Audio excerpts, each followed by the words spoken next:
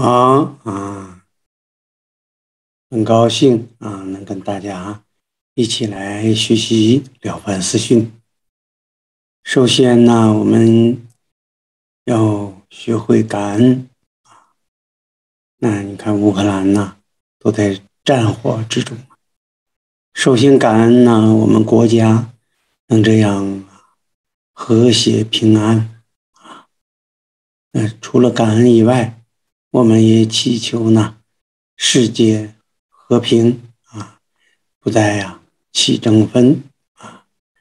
也愿呢那些其他国家啊想挑动我们国家呃发生战事的呃用心都不能够啊。承认啊，而呢能够消除啊啊战争的灾难啊，那还要感感谢呢我们啊有这样的福报一起来呢修行来学习来学习呀传统文化，改变自己的命运，给家人带来幸福平安。啊，啊为自己的下一代带来良好的教育啊和幸福的未来，我们啊下面呢就继续啊了凡四训的第二讲啊，我们啊共享一下。那我们第二讲啊，在讲第二讲之前呢，我矫正一个比较小的一个错误。啊，上一讲讲到说是要不学科举，学习字的是这个呃二儿子元襄啊，其实记错了，应该是第三个儿子啊元上啊，不是元襄是元上啊。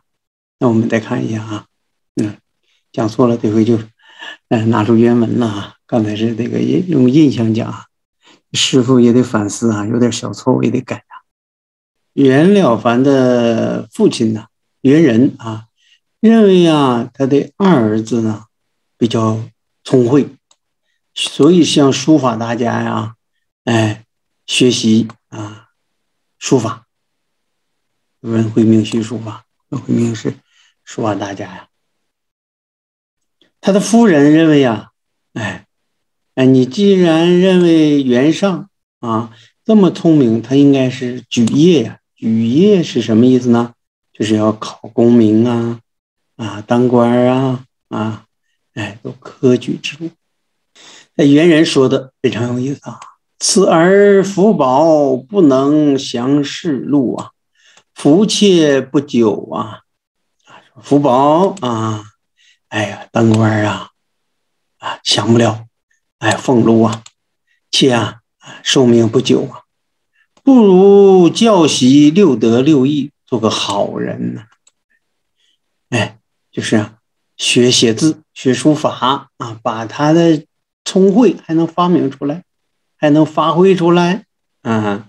之后呢，又习又可济人啊，能种德种啊，能种种德呀，还能继续积阴福啊，让自己的福报增加。哎呀，结果啊，真是啊，袁尚真的就是福报啊，过世比较早啊，婚后也没有孩子啊，啊，应验了猿人生前的这个医学的结局呀。那这个为什么又呃，师傅要说啊，他不是二儿子？因为老二的话呢，就是呃，就不是这个。我们看这个图啊，啊，看这个他的，嗯，啊，老二啊，老二呢？呃，就不是老二，老二是原配夫人生的，哎，呃，袁了凡都是续房夫人生的，啊，是二儿子，二儿子。如果老三呢，实际上就是，呃，袁了凡是排老四哈，啊，那袁尚其实是袁了凡的亲哥哥，啊，袁了凡的亲哥哥，哎，就早年就过世了，而且他爸爸也说他呀是福薄，不适合当官。所以说，袁了凡在第一个选择是当医生还是当啊是从医啊？从父亲这个呃医院从医还是走科举制度？所以说他很慎重的选择啊。这是矫正一个这个啊错误啊，这没有师傅没有记清，这是是老二还是老三啊？实际上是袁了凡的亲哥哥啊，袁尚啊，父亲认为的认为的福报啊，结果真的是很早就走了啊，这是矫正上次讲的一个嗯小插曲。那上次讲呢，也是讲袁了凡的一生啊啊，这个小插曲，哎让。这个我们知道，袁了凡啊有四次矛盾选择。那刚才讲的就是第一个矛盾选择，就是在十四岁的时候，他决定改医学文呐，也需要很大的这种这个魄力呀，因为父亲让他同意，而且他的亲哥哥因为福薄啊，哎，都早去世了，哎。那完全是啊，因为啊，孔先生给他起数算的这些都算准了啊，他听过实践啊，才相信孔先生啊是个做官的人呐，他才改一学问啊，而不是啊父亲一去世马上就改变父亲遗愿了啊，是通过这样的思考和实践，那这是是第一次啊啊他的选择。我们十四岁以后啊，第二个矛盾是什么矛盾呢？就是有命数还无命数啊？你看看，十四岁到这儿的十一年啊，啊，十一年的时间啊，他用十一年之间的实践啊，验证了孔先生给他算的都算准了啊，哪一年考第几，哪一年你挣多少这个俸粮啊，都是一丝不差呀，就差了那么。呃，这个呃呃三四十斗，结果啊啊出贡之前呢，在一五六七年呢，也正补上了，跟孔先生算呃算的一样，那他他就心中就认为啊，从无命数和有命数的分辨中，认为人是有命，不仅有命有命数啊，这是第二次这个他的抉择啊。有这个抉择，才能能终日静坐不阅文字啊。之后啊，才有啊第三次的抉择，就是宿命术还是自命术。哎，通过云谷法师啊给他讲啊，命可以自立。讲完之后，通过一年的实践啊，孔先生给他算的就不准了。哎，原来算的考第三啊。啊，在礼部考试考第三，考举人呐，考第三，他考第一了，发生变化了。啊，他也是通过这个实践啊，师傅把他安排在这儿啊，哎，把这个宿命说呀，啊，转化成自命说啊，自己命可以把握。虽然有天命啊，但是啊，啊，只要行阴德啊，就可以呀，有个仁义之身。天命啊，是可以改的啊，这是那个第三次这个他的选择。那我们看，这是三十六岁啊，之后呢，啊，他不断的做功德啊，做两个三千功德之后，最后做了一个一万啊功德啊，一万功德啊之后，考取进士了啊，考取进士啊，才算是达到了。啊，科举考试的目标了啊，中间有求子院等等很多事情，所以在他五十岁的时候，可以说啊，他是凡夫和圣人差别，凡夫去啊这个差，哎，啊，开始发求进士院，敢于求进士院呢啊，我们知道考上进士很不容易啊。那这就是凡夫和圣人的区别啊！就像孔子说啊，正好这是袁了凡是五十岁的时候，就像孔子说的：“五十而知天命。”五十而知天，哎，这是他的四次人生选择，也是人生中充满了各种矛盾和抉择呀。在四个矛盾冲突中啊，他都有啊不仅有理论。他是重实践、重实修啊！哎，你看，得有理论认识，也有他得用自己的实践实修那真正真正用自己的人生证明了圣人与凡人宿命和自命有命数无命数啊，是从一从观，这对他来讲是是重要的这种选择啊。那这是从的他的一生啊来看，有这样的啊四个阶段啊，这个阶段来是从医生来角度来讲啊。那我们哎回到课件啊。第二讲啊，就讲到这儿了。于行于事，所以笔记，如木不能书，每行一事啊。哎，用鹅毛管印一竹圈于日历上啊，这是我们所说的功过格啊。做了善事啊，做一件善事啊，写上一样。那都做什么呢？啊，做施食与贫人。放生啊，三千善数啊，一满啊。我们看看啊，这是嗯，一五八三年的八月啊，许下的这个三千善事啊啊，三十善事啊，他用了啊三年的时间啊，这次啊就圆满了啊，一五八三年哈。我们看这这是一五八三年啊，求进士院啊，进士院。哎，那什么时候进了进士呢？我们看，嗯。在一五八六年啊，用三年的时间啊，就进了进士了，啊，进士了啊，事满三千啊，这就恢复进士。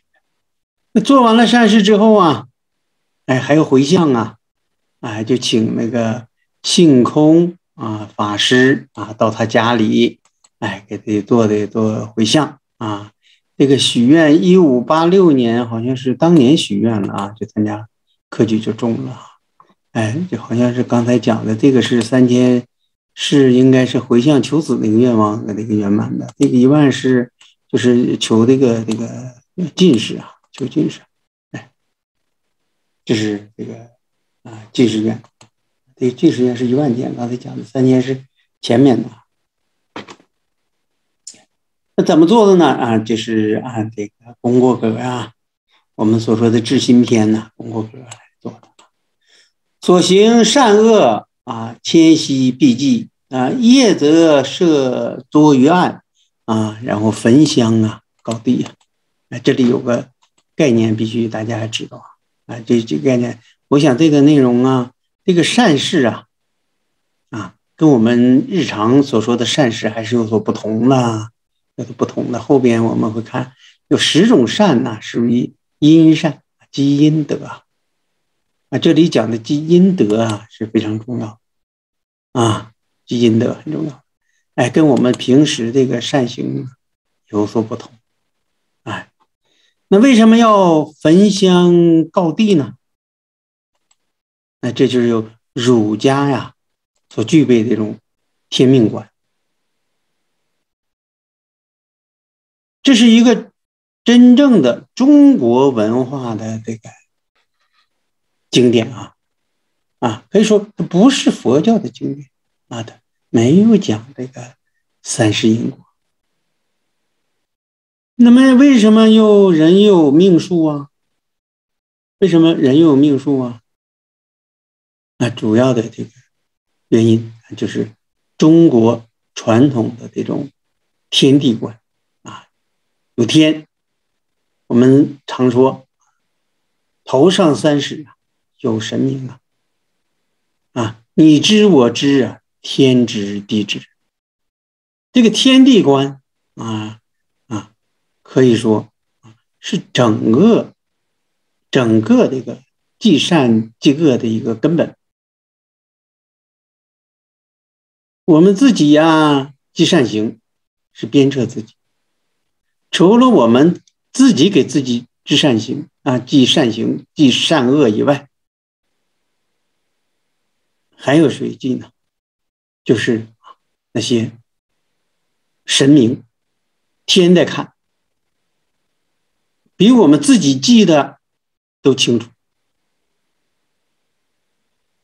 所以只有这个老天记的啊，或者是神明记的啊，那些功德，那些。善恶，那就会呀，应验到我们身上，所以我们哎不知啊，不知不见得啊，神明不知道啊，天地不知道啊，这是啊对天地的这个概念啊，有有天啊，那是在这里我也想讲一下，因为这个比较核心呐，哎，这个可以呃，并不一定一定用这个嗯啊佛教的理论来讲，用这个。儒教的理论啊，我们来解释这个天命啊。我们说立命论，哎，决定命的在这里呀，啊，叫做阴德，哎，阴德。而这个阴德啊的记录者、执行者，就是我们说的老天呀、老天爷啊、天地呀等等。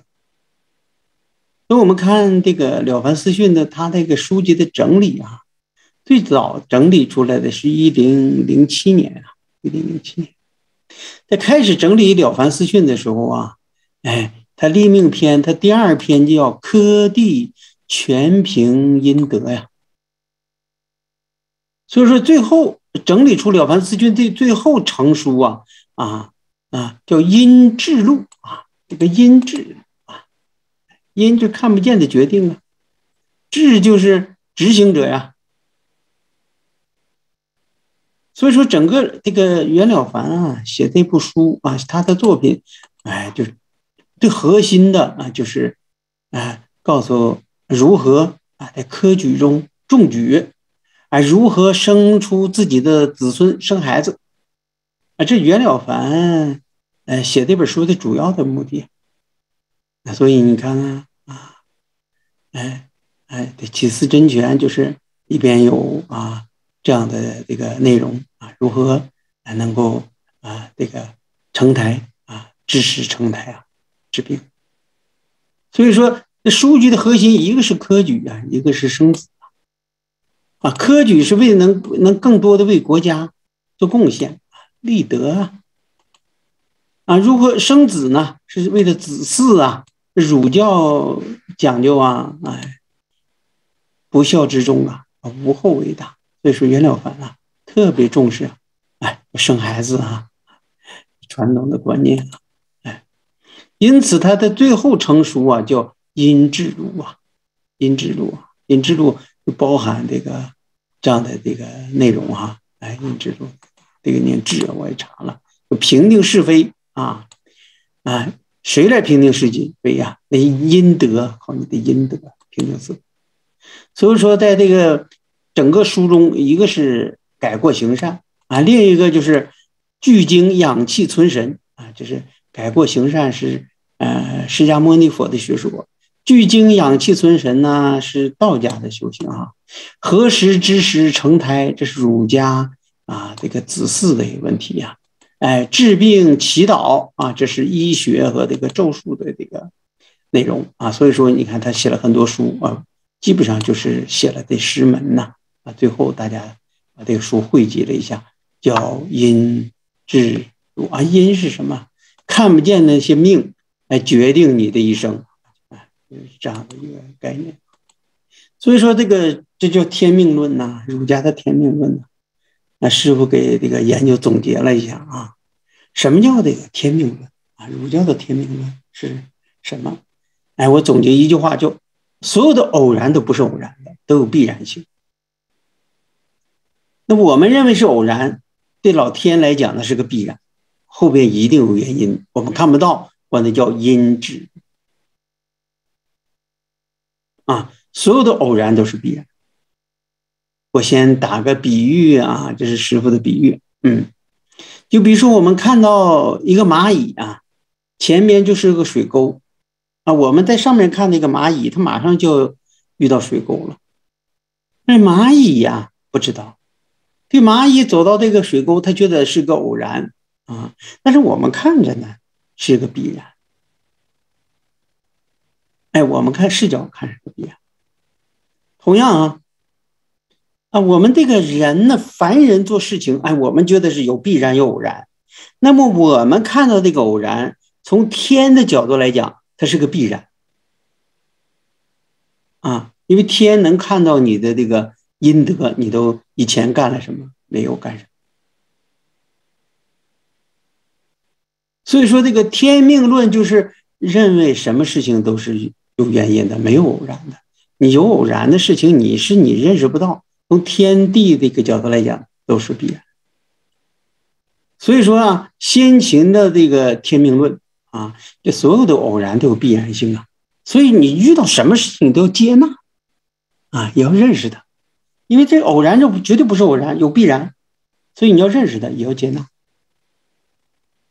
这后儒的这个天啊，就先秦以后的一个儒教的天命论呐，哎，这个天呐，哎，啊，虽然是偶然的，那我就研究它，我可以用术数来把这个天命算出来。哎，不仅能接纳，还可以去想办法去改变，这后儒的天命论啊的。为什么可以改变呢？这个天命啊，那就涉及到啊，这个先先儒和后儒啊，对天的这个功德啊，就是老天爷，老天爷，中国总说这个老天爷啊。那么这里我们就知道啊，这什么是真正中国人说的天啊？这怎么回事？天，啊，这后边讲。嗯，我们在啊学习《了凡四训》啊，一定要了解这个儒家的两个人呐，一个是罗有高啊，一个罗有高，哎，另一个是张绍什么？我看，哎，后面我给删了啊。两个人，大家后来后面资资料没有，这罗有高啊，就是这个这个呃善书儒化的重要的。哎，这个理论指导人呢，理论监督人，他指出这个天呐，就有势理自然，就刚才讲的所说的，嗯，你所有的这个呃事情啊，都是天决定。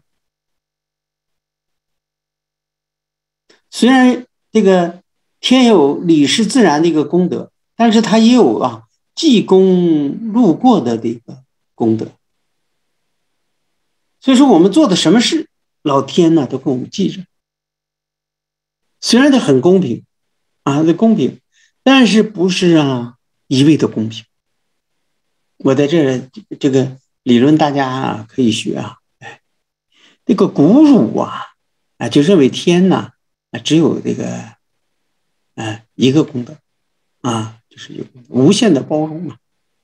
哎后儒认为啊，天有两个功德啊，不仅有理事自然的功德，也有济公路过的功德。哎，打个再打个比方啊，比如说这个老天下雨呀，天要下雨哈，我们都说天要下雨，娘要嫁人哈，改变不了是吧？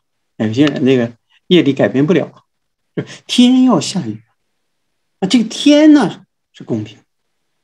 哎，下雨的时候好，我是它是不分高低山川。都下雨，天是公平，但接受天的这个雨过程和最后结果，哎，这个是有不同。低洼的地方啊，雨水积的就多；高的地方啊，雨水留不住啊，就要流下来。天是公平的，但是接受天的功德是不同。同样，啊。坚硬的土地呀，也留不住水；只有那些松软的土地才能吸收雨水，哎，吸收雨水。那我们的这个德性是不同的，哎，虽然天有公平啊，但是德有不同啊。那这个德不仅是啊，这个不同。而且天还有这个功德，我给哪里下雨，哪里不下雨，哎，它是有济公路过的功德。那这是天地的两个功德啊，既有理事自然的功德，又有啊即功过的功德。这样的这个天，其实啊就包容了自然界的鬼神呐，啊神仙呐等等。啊，都归纳到天的范围，你都是啊天所记录的这个功德，就是超越了这个鬼神。往往在这里啊，也说啊，比如说袁老环也说要那敬鬼神啊，但这个鬼神是什么意思呢？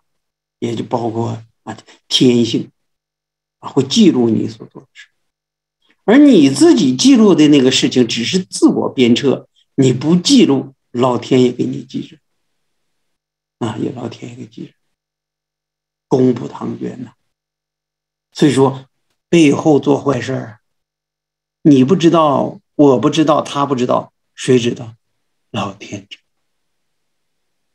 形象化的话，就叫抬头三尺啊，有神明。那么这是在理论上啊，理论上这块也很重要啊，因为这个原来啊，这个《了凡四训》作为民间善书，后来通过这个儒家的发展啊，变成了后来变成了儒家的必读经典啊，你必须得学的这个内容啊，来来。所以说，它变成中古的儒学啊，哎，那，必学的一个经典啊，啊，就是我们所说的《了凡四训》啊，俗家叫《了凡四四训》啊，哎，真正的它最后的这个成就叫啊阴质录啊阴质录啊，就是那些阴德啊，来评判你的一生，你的事成不成啊，差不多叫阴质。那这里哎，所说的天啊，它的这个啊，记录功德的这个有的呀啊，一体化啊，既有理事自然，又有那个记功德的这个功德啊。在这我们所说，哎，这什么是天呢？啊，天有哪些功德呀？哎，既有非常公平的来运行这些啊，这个啊呃天道啊啊，同时它也能记录呢。啊，每个人的啊功过啊，这个天的作用，天命啊，天命论啊，啊，所以说这是我们就知道啊，那袁了凡每天他都要怎么呢？啊，哎，焚香告地，大家知道这个地是哪个地啦？啊，这个地是哪个地？是什么？是天地啊，是我们。中华民族儒教啊，中华民族祖先所奉行的天道啊，天子啊，就是这个天的天子才能成皇帝啊。哎，所以说这个天就是有，如果天让你干什么，你你必须得做啊。如果你歪打正着不想做的事，你都去做了，那也是天命啊。所以说赵匡胤呐，说我不想当皇帝，哎呦，他这个随从啊，把黄袍给他披身上了。啊，他说这是天命，我不得不干呢。就不干的话，也都知道我要当皇帝，造反了。那这一定是天命啊！哎，那你看他是，哎，支撑啊中国儒家以及治世的一个非常重要的伦理，就是天官、天命论。所以说天命论呢啊是传统儒家的这个思想啊，我也总结了这孔子的这个天命论啊。哎，看我们看到孔子啊，怎么这个为什么这个这个天比鬼神信仰更直接成为中国文化的这个根基啊？哎，我们说孔子的弟子啊说生死有命，富贵在天。我们经常听到的儒家的这个天命论。啊，那有一次啊，宋国有一个人呢，啊，那桓离呀，要害孔子，啊，没害成。孔子说啊，天生得与，你怎么能够害了我呢？就是说，哎呀，我这个是我的德行，我的生命啊，是天给予的，不是你你想害就能害，我有这天命。这句话听起来很熟悉吧？那跟说呀，你能不能中科举呀？是你这个命中能不能中，而不是你这个财如何。哎，同一道理。所以说，在孔子看来，一个人的生死存亡、富贵贫贱，完全与高悬于的天的给予的命运有关，天命有关。这不是啊，凡夫碌碌众生啊能改变。所以说，孔子也说：“不知命，无以为君子啊，哎，也说自己是五十而知天命，在这个呃后儒过程中啊，哎，比如说在这个嗯那孟子的思想中啊，还是有所变化，有所变化。这个变化呢，就是呃我们后边要讲的啊，呃讲的这个。孟子的这个思想啊，在后边我们还要要要讲到啊，我们要知道啊，就是啊，这个中国啊，这个天是什么概念啊？天是什么概念啊？所以说袁了凡这个思想啊，并不是啊，袁了凡自己创造的啊，就是，啊，传统的儒教的天命观，哎，这实际上是很大的一个历史背景。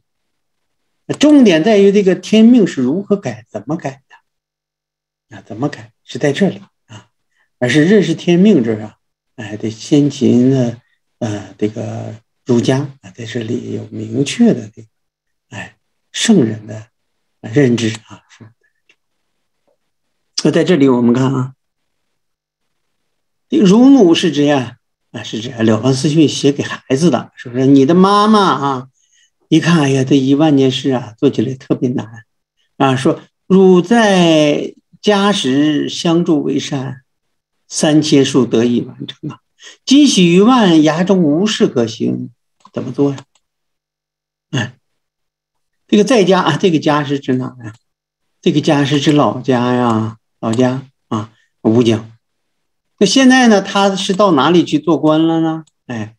啊，原来在这个嘉善老家，老家吴江嘉善会堂镇，哎，在这儿考取功名之后啊，就到了啊，到这儿天津这啊，天津和北京中间到这儿当这个啊这个县官来了啊。他说他当县官啊，没什么善事可做哈，哎，怎么能完成呢？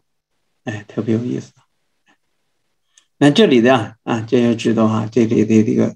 这个地啊，就是刚才讲的天地，这个概念非常重要。这个概念，因为我们要呃弘扬传统文化，特别是中国中国的儒教文化啊，儒教文化，中国的这个呃文化，那要中国的历史上，嗯，来这个研究啊，那这个天命论、立命之学，这个命是什么啊？是天命啊，知天命啊，在这里啊有很多这个辩论啊，哎，嗯，到时候我还要给大家。详细讲解。这时候啊，袁了凡啊做了一个梦啊，有一位神人啊，梦中说啊，你一万件事已经做完了，你为老百姓啊减免税的一件事就相当于行了一万件事确实啊，赋税呀，啊这个问题，袁了凡亲自给万历皇帝写的折子。万历皇帝批准了啊，减到啊一里啊一分四厘呀，啊哎从啊这个二分三厘减到一分四厘，这就会减一半。说这个事啊，你已经把一万件善事相当于都做完。你看这属于护法啊，神明指点加持啊。所以说啊，做善事啊，头上的神明都帮助你啊。来指点指点你指导你，那么他还有些不信啊，所问了这个余幻禅师啊，这个余幻禅师，哎，把这个事儿啊，啊，就告诉这个余幻禅师了。余幻禅师啊，哎，就说你这是可以信的，为什么可以信啊？善心真切，即一行可当万行啊！况乎全县的减粮啊，万民受福乎？就是说。是可以做的，啊，只要真心做一件事，非常诚恳，定一万件事。何况你做这么大的万民受益的事情，当然是可以。啊，这里还讲个故事，哎，说的有的人呢是恶心行善事，比如现在我们国家打击的专骗老年人的，啊，这些欺骗性，对老年人特别好，哎呀。比亲生儿子都亲，比亲生姑娘都亲呐！给老年人洗脚啊，哎呀，哎，打扫卫生啊，干妈妈、干爸爸叫的比谁都亲，比亲儿子都亲，亲姑娘亲。啊，他的目的啊是呃换取老年人的一种这个情感，之后呢骗取老年人去买他们那些产品呐，或者买那些养老保险啊，参加那个养老活动等等啊，骗取老年人。现在国家打击的最大，哎，他们就是非常伪善啊。连伪善都不算，就算是恶善啊，这三善等会儿还要讲。你看表面上哎，比亲儿子都亲啊，那你说是行善事吗？表面一套，哎，做得好，背后里啊欺骗人。那还有真心呢，一件事也可以得关键事。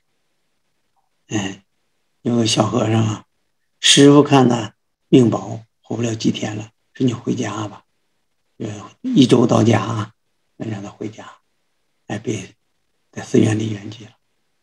这小和尚想，哎呀，师傅让我回家，那我回家看看吧，他就回家。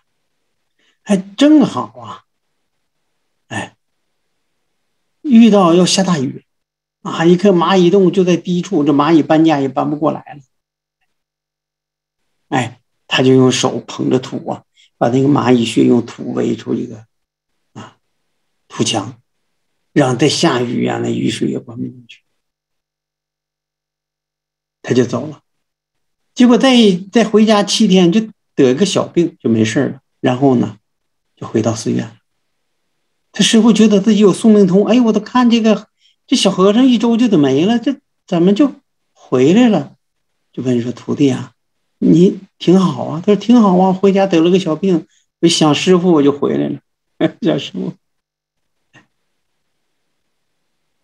他说你做什么了？他说我没做什么，想起来哎，就把这个救这个蚂蚁这个事儿啊，哎，跟师傅说。师傅说啊，我没算错，只是让你这个行了，看似是一件善事啊，但是非常真心的救度生命，哎，你这寿命延长。哎，这就说说啊。真心真切，一心可得万幸啊！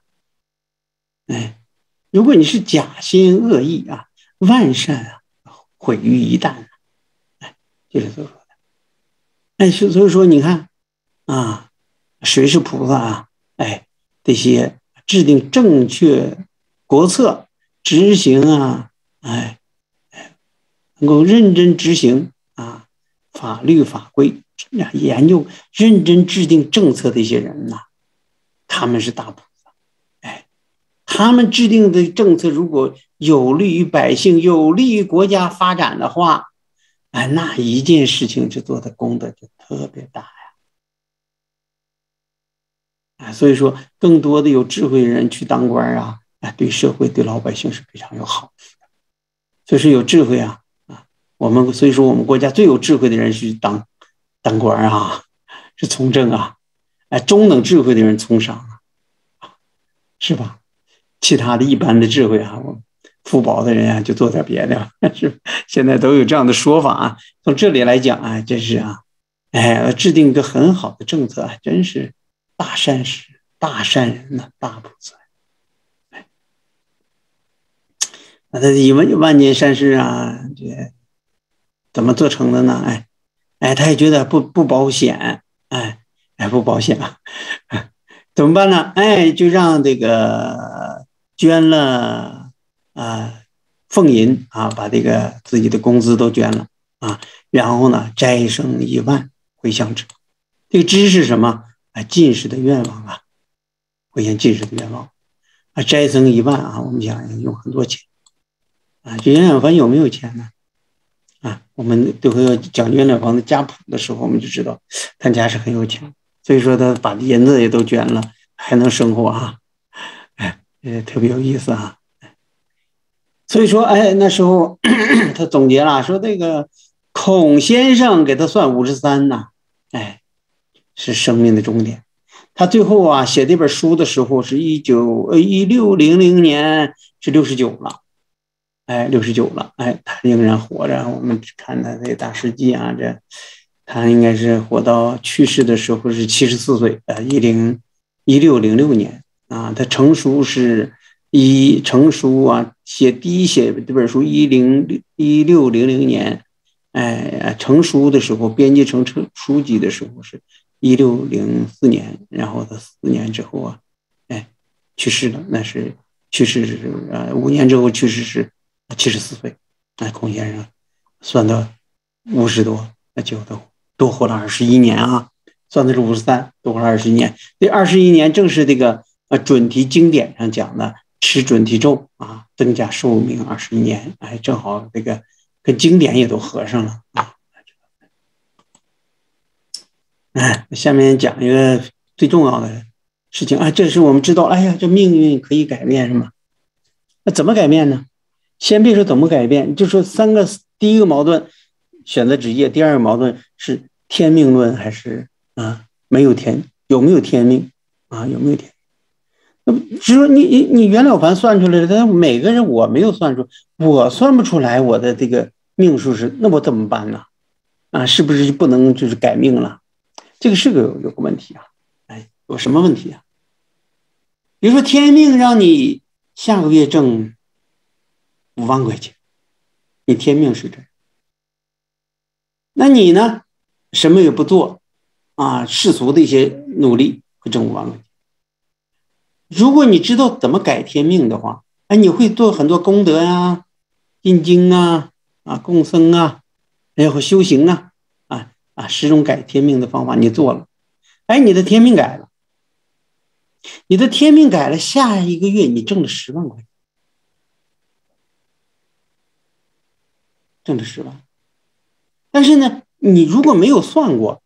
你就不知道这个是多了五万，你怎么知道多了五万？你就怎么的命运知道改？因为你原来可能就就十万呢，你不知道原来的命是五万呢，所以说你即使做了这个功德，你也不知道 自己这个命改啊，这是正向的说这个你要不算命啊，你还真不知道自己命改不改。还有一种情况啊，这个人的命不是一条直线啊，不是一条直线。比如说这个月你的财财命啊，财数啊，财命啊，是你公司是盈利五十万，你下个月你的这个财命你是亏损五十万，如果不改变的话，那就这个月你挣五十万，下个月亏五十。但那个天命是阴呐，是看不到的，你不算你不知道。那你为下个月啊，我哎我要学袁老凡我。念诵多少咒，我做多少功德，哎，做了之后，你下个月一看亏损，亏损了二十万，二十万？如果知天命的人知道啊，我五亏五十万，我现在亏二十万啊，我是改变命运。但是你要不知道你的下个月的命是亏五十万，那你做了这么多好事儿，你发现哎呀，糟了，我还亏了。这个月我挣五十万，你看我。一做好事，我怎么就还亏了二十万呢？嗯，那这个如果你不算出命来的话，你怎么知道你改命了呢？哎，这有难题呀。所以好多人呢，哎，都是啊，哎，没法衡量啊自己呀，哎，做了善行是不是，哎，真的有用？啊，存在这个问题。所以说。啊袁了凡啊，也知道存在这个问题，那更多的人呢，他算命算不准。过去的国家有大事也要起卦我们知道这个四书五经就包括易经啊，易经就是用来干什么来？来测算国家大事。测算之后就有个准这个啊，已经是这样了。我们在这个基础上怎么变化，怎么改？如果你没有这个基调。你你不知道到底改不改，只是作为凡夫来讲啊，谁能把那个看得那么准呢？也都不会，不会看。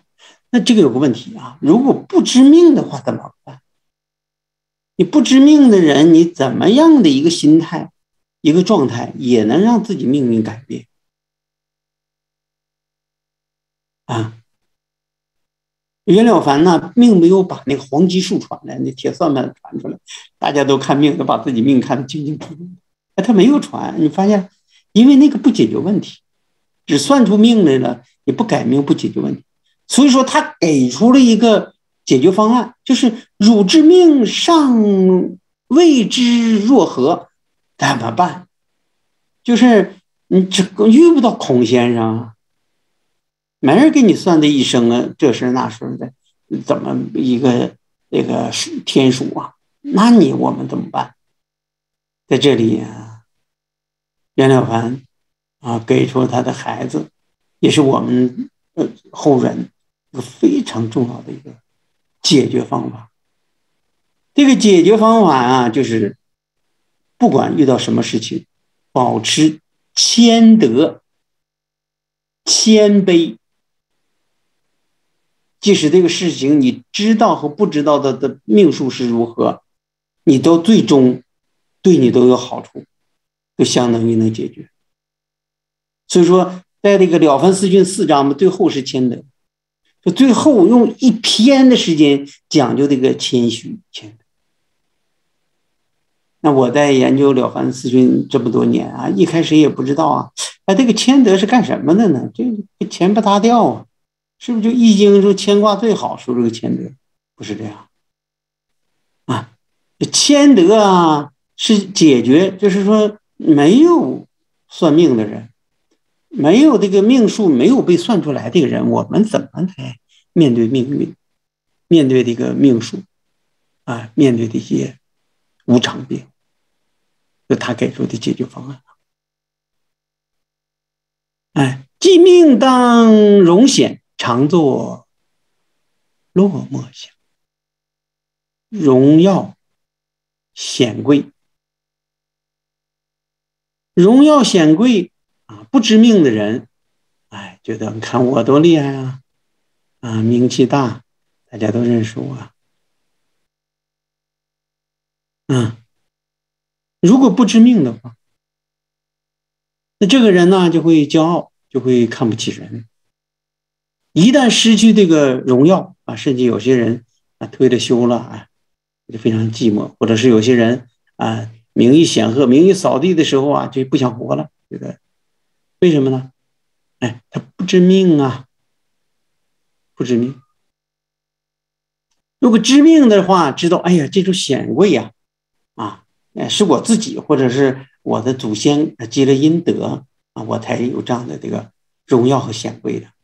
所以说，他就不会啊做出过格的事情，失去这个荣华富贵呀，啊名义呀，他也不会啊情绪低落，甚至寻死寻活，甚至觉得人生无意义。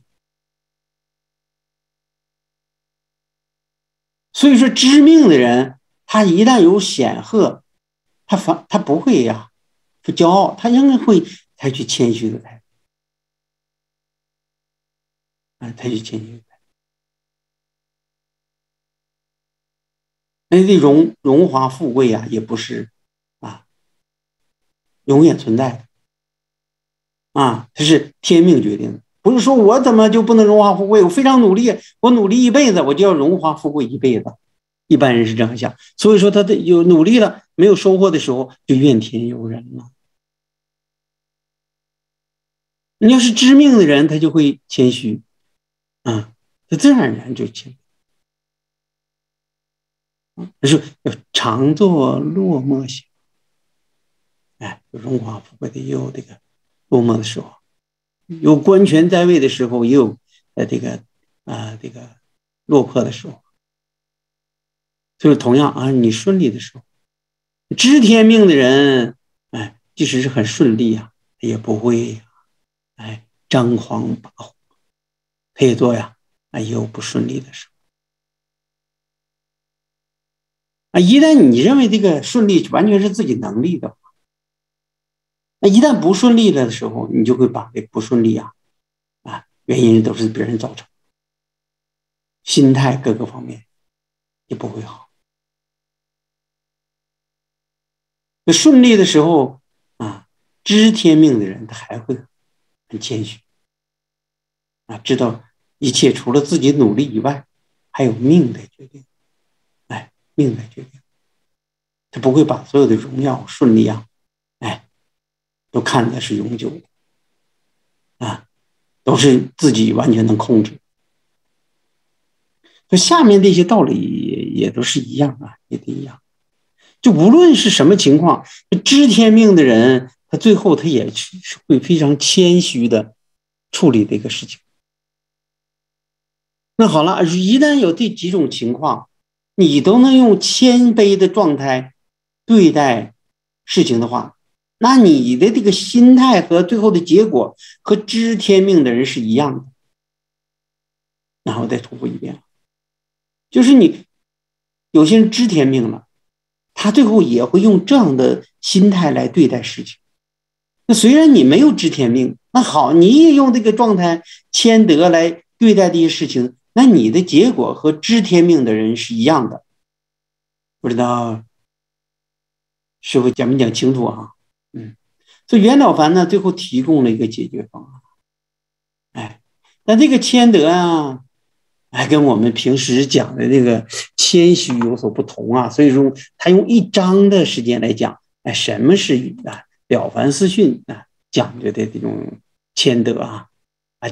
很具体啊，敬天爱人，知命认命，知过改错，知恩报恩，啊，嗯嗯，敦伦尽奋，认祖归宗，养正化怨，归之前，啊，这是所谓的谦德呀，很详细啊，很详细。那你有了这样的这个谦德之后，你的行事、对事、对人、对物方法。跟那袁了凡算过自己的宿命有多准那样的人是一样的行为的话，一样的方法的话话，哎，你不知道你自己的命数是什么样，效果也是一样的，你的命也会越来越好的，在那个基础之上也会越来越好。所以说，就是袁了凡给出的呃所有人的方法，就是你你不用去算卦，如果你这样做了，跟你算卦的结果算的准的结果是一样的。哎，就告诉你这个谦德的方法。后边呢，还是要报恩呐。这就，和这个报恩是很重要。一个人不知道报恩的人，能力再高，只是他有能力，但是没有德性啊。没有德性啊？什么叫没有德性啊？老天算着呢，是吧？哎，他那些恶事啊，哎，早晚会有报的。所以说，我们要积阴德呀，就是。人看不见的，看不见你做的什么那个事情才重要啊！这表面上做的很好，你背后里净干坏事啊！嗯，那就积了什么什么德啊？那叫阴德嘛？那缺德呀！那缺的德都是看不见的干的事情，叫缺德。嗯，那我们什么样的德是必须的积呢？就远扬，远祀养祖宗之德啊！这是红色的啊，一些祖宗和父母啊，父母。第二个是国国国家的恩德啊，家庭给我们造的福德啊啊，向下啊，向外啊，不能叫向下了，这个概念不好。向外啊，要济人济世啊；向内呀，反思自己。所以说的积阴德啊，这有个总论啊，这是一个首先第一点啊，你不知道感恩，就别谈你积阴德啊。不知道感恩的人在这里是一票否定的，这这第一点啊。第二点是二十八讲的是，呃，改过积善啊，啊，改过积善呢，嗯，这这两那个会放在这个，用一章来讲改过啊，一章来讲积善啊，什么是？改变命运的改过，什么是改变命运的积善？那是用了第二章、第三章来讲。第四章讲谦德，就是说我们没有算出命来，我们怎么办？啊，就讲谦德。那本章呢，就是后边就是相当于一个总论了啊。你看二十八、二十九总论这个怎么积阴德啊？改过至善，感恩啊，感恩改过至善啊。首先要感恩，感恩呐。感恩是前提啊，没有感恩的话，那就后边的你怎么积善改过都没有意义啊，那不知道感恩吗？所以说这个总论啊，就是这总论，呃，说呃，首先二十七是谦德的这个总论，谦德总论第四章总论，然后这二十八、二十九是第二章、第三章的改过修善总论啊，总论哎，最后呢，嗯，就是有个反向的说呀，天下聪明俊秀不少，所以德不加倍，业不加广，这里有一样。什么叫天下聪明俊秀？什么叫天下聪明俊秀？天下聪明俊秀就是我说这个人有能力呀，啊，这个人非常聪明啊，业务能力非常好，但是没有德行啊，德不加修啊，所以他就业不广大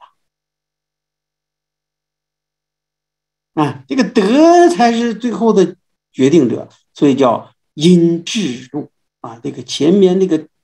看不见的因啊，天命，你的命数，你积的这个德智啊，就智就判断和执行你最后的结果。所以你的事业业务啊，你的命啊，你的钱呐，是不是就在你命命中啊注定那里边，还是有所不一样啊？有的就指因循二字啊，因循凡夫的天命天数啊。所以耽误了他们的一生一世啊！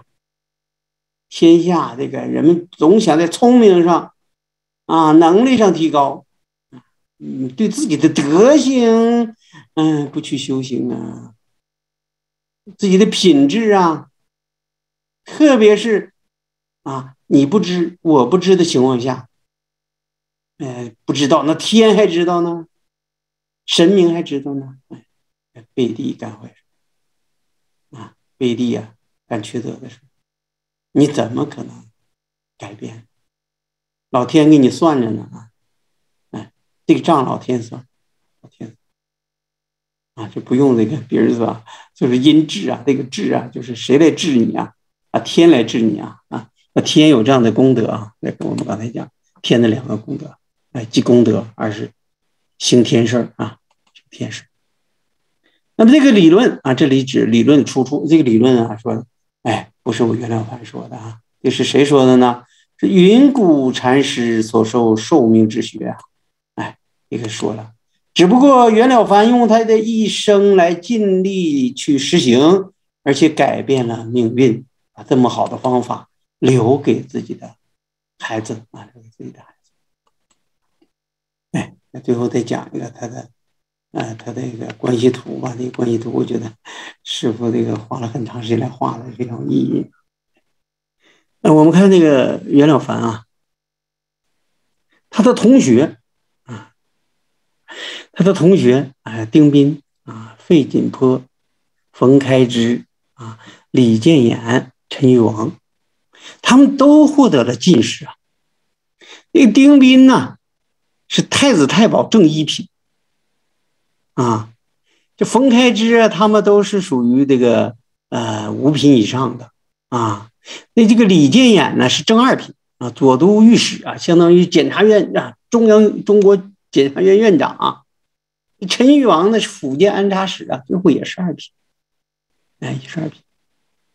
然后更有意思啊，哎，这个袁了凡的儿子娶了陈玉王的女儿。就是陈余王是把自己的女儿给了袁了凡，嫁给袁了凡的儿子了，他俩是亲家。哎，这陈余王呢跟丁斌呢又是亲家。哎，这丁斌的儿子娶了，呃，不是这个陈余王的儿子娶了丁斌的这个丁斌的这个呃这个女儿，哎，丁斌的女儿。哎，这个李李建衍特别有意思啊，他跟袁了凡是在终南山，他俩想闭关。待了一年，想闭多闭关几年，啊，算了，没闭关成，又出来又当官了，哎，当官了，特别有意思啊，嗯，我们知道这个袁了凡的爸爸是个医生啊，是个医生，但是他的医生的朋友是唐伯虎、王阳明，啊，陆文选都是呃王基呀，都是著名的思想家，哎，都是这个呃名人啊，啊，都是这个大官大宦的，这些人哎。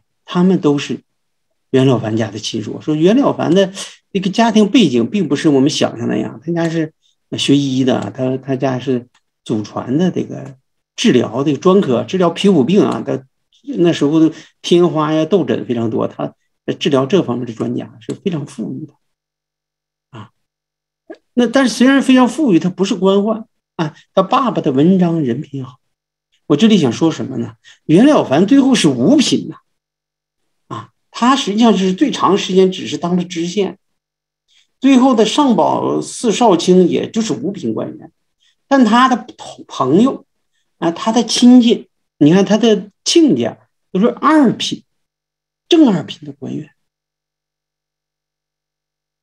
我们不是说这袁了凡的官小啊，他爸都不是官吗？为什么这些就是二品官员这些人为什么愿意把女儿嫁给这个袁家呀？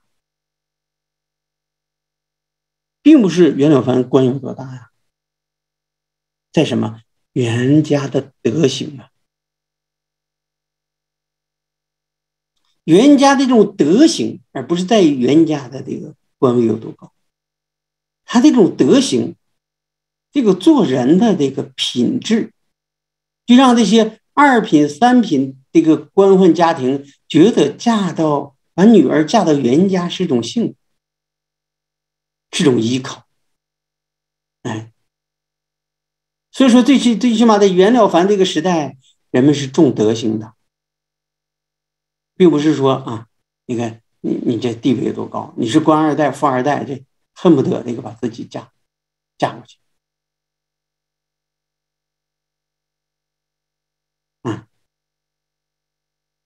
所以说，在这里啊，我们就知道啊，袁了凡那种影响，真正的影响，是在于他的学问，啊，是在于他的为人处事，是在于他的这种谦德呀，谦德呀，这个德行啊，做人的品质，并不在于他能力，他能力跟他的几个同学比 差多了，他同学都正一品、正二品，而且都非常有作为，哎，都是清官啊，有一个清官。